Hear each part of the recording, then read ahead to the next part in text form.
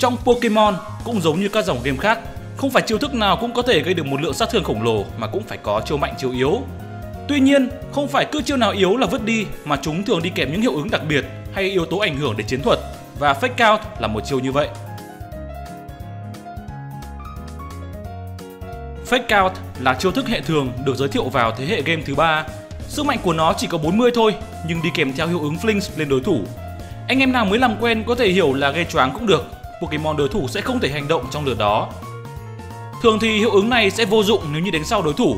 Tuy nhiên Fake Out có điểm ưu tiên là cộng 3 cho nên khá chắc nó sẽ tấn công trước trong hầu hết mọi trường hợp. Chỉ có những chiêu tự bảo vệ như là Protect và chiêu Helping Hand là có mức ưu tiên cao hơn mà thôi.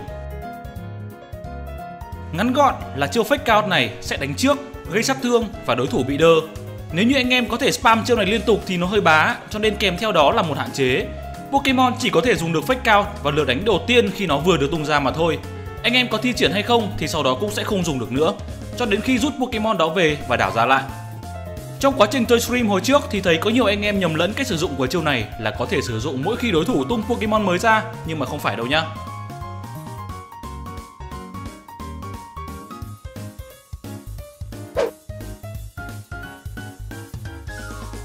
Hỏi thường gặp nhất của chiêu fake out này đó là tại sao tôi phải phí một lượt để dùng nó trong khi có thể dùng một chiêu khác mạnh hơn rất rất nhiều và có thể thắng luôn? Thì câu trả lời là nếu chắc thắng được luôn thì có thể không cần dùng, nhưng mà nếu không chắc thì sao? Fake out có thể coi như một lượt miễn phí của anh em và cái gì miễn phí thì mình lấy thôi, dù ít dù nhiều.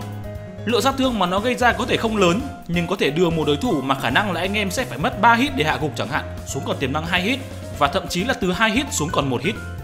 Những anh em nào đã gặp trường hợp tung hết sức ra chỉ để thấy đối thủ còn một mổ sinh lực và thua ngược thì sẽ hiểu là cái lượng sát thương nhỏ nhoi đấy nó có giá trị như thế nào. Ngoài ra, cái sát thương tưởng chừng như vô hại này còn có thể khiến cho một số đối thủ phải khóc ròng. Scamori có Sturdy, giờ thì coi như không có. Mấy con Pokemon lót chót muốn dựa dẫm vào Focus Sash, biến ngay. Dragonite có Multi Scale, cũng mất luôn. Trừ khi những trường hợp vừa rồi có thể phục hồi lại lên đầy máu, còn không thì coi như chúng đã bị phế mất một phần sức mạnh. Mà kể cả chúng có hồi máu được đi nữa thì đó cũng là việc mà anh em ép chúng phải làm, tạo ra một áp lực có thể đảo lộn chiến thuật của đội bạn.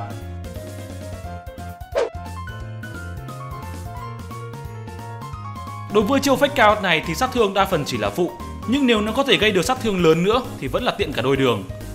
Một số Pokemon vẫn có thể gây được sát thương lớn với chiêu này vì chúng có sức tấn công vật lý cao chót vót như Medicham và Mega Medicham có thể cắt ít nhất là 20% cây máu nếu như đối thủ không kháng hệ thường. Nếu như đối thủ là những con màu giấy thì có thể sẽ mất một nửa bình luôn. Ambipom, Mega Kangaskhan và Mega Lopunny là Pokemon hệ thường cho nên còn được hưởng thêm 50% sát thương cùng hệ con MB Bomb nó còn được tăng thêm gấp rưỡi sát thương nhờ đặc tính Technician. Nó còn có thể cầm được thêm cả trang bị nữa. Và lượng sát thương mà chiêu fake cao của con khỉ này gây ra có thể một hit luôn cả Deoxys Attack.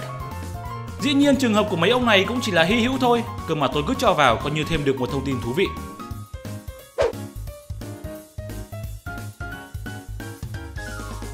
Trong đấu đôi thì chiêu fake cao được sử dụng nhiều hơn bao giờ hết. Việc vô hiệu hóa hoàn toàn một đối thủ sẽ giảm áp lực mà team của mình phải chịu từ đó, Pokemon đồng đội có thể thiết lập thế trận như là gia tăng chỉ số hay là dựng trick room, hoặc cũng có thể sử dụng để ngăn không cho đối thủ thiết lập những cái vừa rồi. Hay đơn giản, chỉ là để bảo vệ cho Pokemon chủ lực của anh em có thể tập trung tấn công nhằm loại bỏ một đối thủ quan trọng.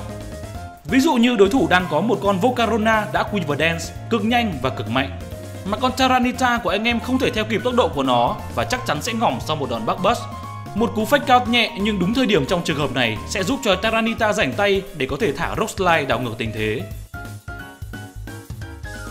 Fake out đôi khi có thể được sử dụng đơn giản như là một cái quick attack để kết thúc những đối thủ đang ngắt ngoài hoặc là để câu giờ chỉ hoãn thêm một lượt. Đối với những đối thủ đang bị nhiễm độc chẳng hạn, cứ một lượt qua đi là đít của chúng nó lại đỏ thêm một tí.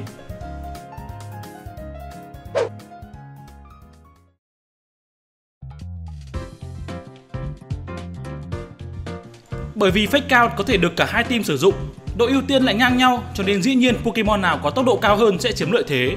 Những Pokemon có thể dùng chiêu này nhanh nhất có thể kể đến như Zeraora, Weavile, Persian, Raichu hay là Ludicolo dưới mưa.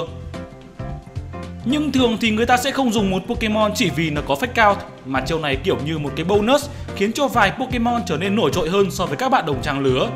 Anh em sẽ muốn Pokemon có thêm những chức năng hữu dụng khác trong trường hợp này có thể kể đến như Sableye là một Pokemon hệ ma cho nên không sợ bị dính fake cao từ đối thủ, là hệ bóng tối cho nên không ngán bận Prankster, trong khi bản thân nó cũng là một Prankster để luôn được ưu tiên đánh trước khi gây bỏng cho đối thủ bằng Willow Whips hay là trì hoãn chúng bằng chiều Quash.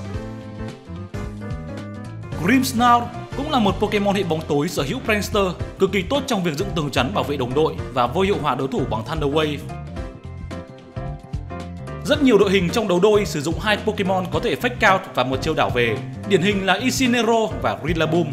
Chúng sẽ thế chỗ cho nhau liên tục, tát vào mặt đối phương tới tấp, cực kỳ là khó chịu. Nhất là con Isinero nó còn có thể giảm công của đối phương bằng Intimidate trong quá trình đó. Raichu có đặc tính Landing Rod có thể hút được các chiều điện, bảo vệ cho những Pokemon trong đội hình ngưa khỏi một điểm yếu lớn. Có thể giảm tốc độ của đội bạn bằng Electro Web, có Volt Switch, có Helping Hand mà vẫn có thể gây được một lượng sát thương kha khá bằng Thunder nếu cần. Một ví dụ nữa là Miên Sao. Bên cạnh việc Pokemon này có sức tấn công rất cao và đòn phách cao của nó cũng rất thấm, nó còn sở hữu đặc tính Regenerator để sau khi dùng U-turn quay trở về sẽ phục hồi lại 1 phần 3 tổng sinh lực và ở thể trạng tốt hơn cho lần ra trận tiếp theo. Nó còn có cả Wildcat để bảo vệ team mình khỏi những chiếu thức đánh lan như là Earthquake, Blizzard hay Astro Barrage. Hitmontop cũng có Fake Out, Intimidate, Wildcard và có cả Helping Hand để hỗ trợ sát thương cho đồng đội hay là Rapid Spin để phá bỏ cạm bẫy trong đấu đơn. Và còn nhiều Pokemon khác nữa nhưng mà tôi chỉ đưa ra một vài ví dụ như vậy thôi để còn nói tiếp phần sau. Anh em có bổ sung thông tin cho phần này thì hãy comment bên dưới cho mọi người cùng biết nhé. Tiếp theo chúng ta sẽ bàn về làm thế nào để chống lại Fake Out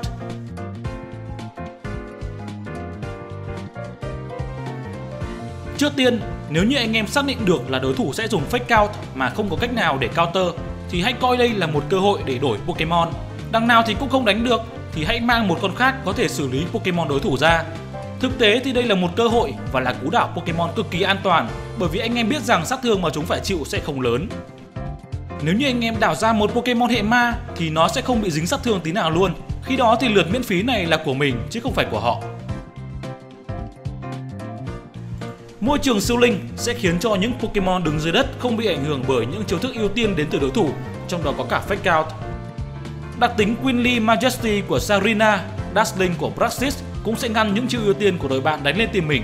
Cho nên nếu như anh em đảo con Sarina hay là Indeedee ra trong trường hợp này thì cũng sẽ lãng phí một đòn tấn công của đội bạn. Một số Pokemon sở hữu đặc tính Inner Focus sẽ không bao giờ bị dính flinch, cho nên dính fake out cũng chỉ như gãy ngứa mà thôi và vẫn có thể đánh trả như thường. Ví dụ như là Entei, Dragonite, Lucario, Mienshao hay là Bisharp. Đặc tính này còn giúp cho chúng không bị ảnh hưởng bởi Intimidate, cho nên những Pokemon chuyên mảng vật lý sẽ tận dụng rất tốt. Ngoài ra thì đặc tính Shield Dust cũng sẽ chặn tất cả các loại hiệu ứng từ đòn tấn công, kể cả flinch.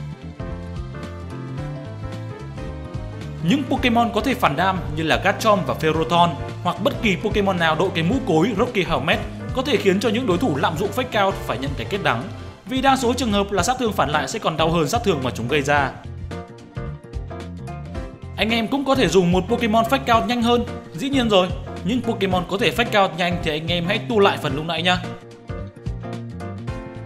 Quick Guard có thể bảo vệ cả team khỏi những chiêu thức ưu tiên Chiêu này cũng có mức ưu tiên là cộng 3 bằng với fake out, cho nên muốn tránh fake out thì Pokemon của anh em sẽ phải nhanh hơn đối thủ.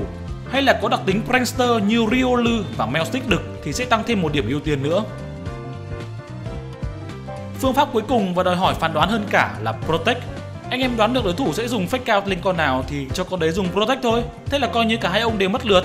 Nhưng nếu anh em đoán sai thì hai ông mất lượt sẽ là hai ông team mình và còn bị Pokemon còn lại của đối phương dã cho thêm một đòn nữa. Dĩ nhiên cho cả hai con cùng Protect cũng là một giải pháp, nhưng không tối ưu cho lắm, bởi vì tuy team mình an toàn, cơ mà team bạn cũng thế.